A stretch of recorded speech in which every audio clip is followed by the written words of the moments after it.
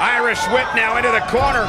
His superstar blasting their partner off the apron. Oh, no. And the fight is underway.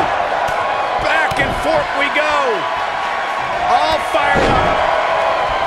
Just took out their own partner. another miscommunication. Things are breaking down on this team in a hurry. This is incredible.